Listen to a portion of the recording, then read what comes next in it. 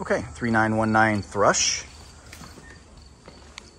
Um, this very familiar Speedway Eagledale area. Um, it's not actually in Speedway, it is in uh, Indy, but it's in that general vicinity. A very simple 3-1 ranch, common layout that we see here. I'll go ahead uh, right off the bat. There's not a room for an additional bedroom or bathroom. Um, in its current configuration, you might be able to squeeze in a half bath somewhere, but it probably isn't, uh, or definitely isn't worth the ROI on that. Uh, cosmetics throughout, walls, flooring, etc. Uh, need to be done. I know they probably look a little bit better than they are on um, the video here, but it's a really a, like they look like a peel and stick vinyl, and of course we have different flooring in the kitchen here. Door that goes into the back. I can't get this door unlocked so we'll walk around so you can get a better view of the backyard as well. But a pretty simple floor plan here. We've got laundry hookups in here.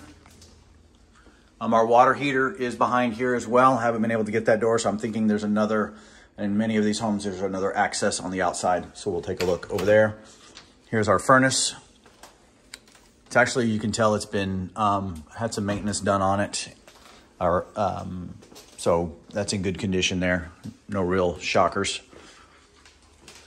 Flooring, like I said throughout, it's different in every room. We got wood paneling as well in most of the rooms. This one, this room has carpet. Uh, there's no light in here, but it's carpet that's on the ground here.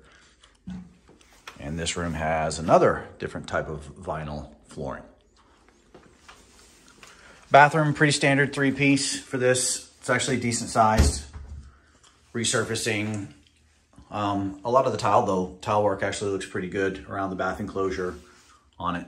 So that's something that could be salvaged. We'll go out the front here. So again, really nice neighborhood. We like the area a lot. This front patio here, um, the boards on this side are moving quite a bit. Um, so the support underneath it is definitely, um, there's something wrong with it here. Uh, that's good there, but then right there on that board, it goes down. So that's certainly something that'll need to be repaired without question. Nice driveway coming up to around here. There's a gate to close off. And then access, of course, to the um, two car garage that's back here, which is a big bonus for this uh, neighborhood. We like that a lot. Having that extra garage, whether it's for storage or whatever. That through that door right there, remember I said I couldn't get inside. That's gonna be your access currently to the water heater. That could be easily closed off and have access internally from where that laundry was. Gutter's gonna definitely need to be replaced. The siding though in general is in decent condition. The roof structurally looks fine. I don't see, it's not a big footprint, so, um, and some of the, um, some of the uh, vents that are there are newer. So I'm not seeing any real issues with that. So that's good. See some of the same things here with the garage. There's no gutters, um, immediate gutters on the garage. It looks like it was an old system, gutter system. There's the downspout over there. A lot of overgrowth in the uh, vegetation around here, you can see. We've got ourselves a little, I know if I certainly wouldn't call it a greenhouse because there's not any light or whatever going on in here to be able to grow stuff, though it does look they did like they did have something something in here. So a couple of different outbuildings back here. Certainly that need a little bit of attention to maximize rent on it. You certainly want to get rid of some of this, so add some of the demo to your cost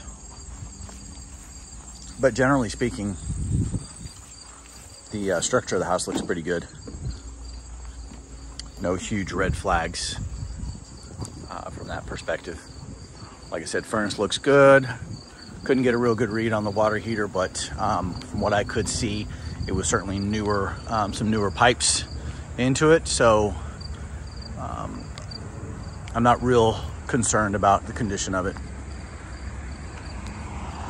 Thrush here is a really nice street. Um, it's a little wider, which means that there is some traffic that comes through here, but it's nothing that's gonna lower the value. Nice large tree, good curb appeal, brick on the outside over here, siding on the side and the back.